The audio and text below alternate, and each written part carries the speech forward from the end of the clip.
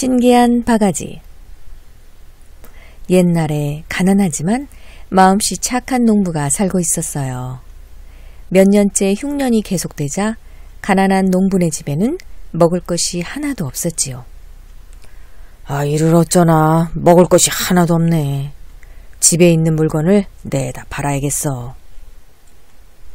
농부가 물건들을 장에 내다 팔고 쌀을 사서 돌아오는 길이었어요. 연못가에서 웬 아주머니가 개구리들을 몽땅 잡고 있는 거예요. 이보시오! 그 개구리들을 무엇에 쓰려고 잡아가시오? 집에 먹을 것이 다 떨어져서 개구리라도 구워 먹으려고 그러지요. 농부는 개구리들이 불쌍해서 도저히 그냥 갈 수가 없었어요. 그럼 내가 이 쌀을 줄 테니 그 개구리들을 내게 파시오. 농부는 아주머니에게 쌀을 주고 산 개구리들을 연못에 풀어주었어요.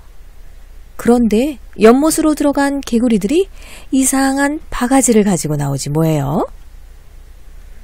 아니, 바가지는 왜? 아, 오냐, 오냐.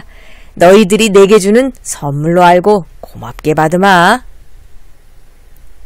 개구리들은 농부의 말을 알아듣기라도 하듯이 개골개골 인사를 하며 사라졌어요.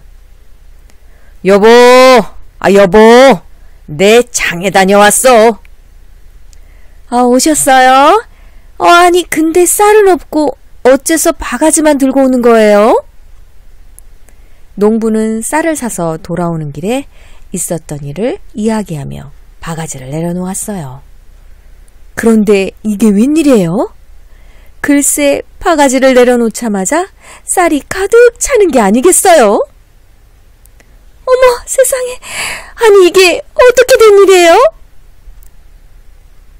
여보 개구리들이 내게 은혜를 갚은 모양이구려.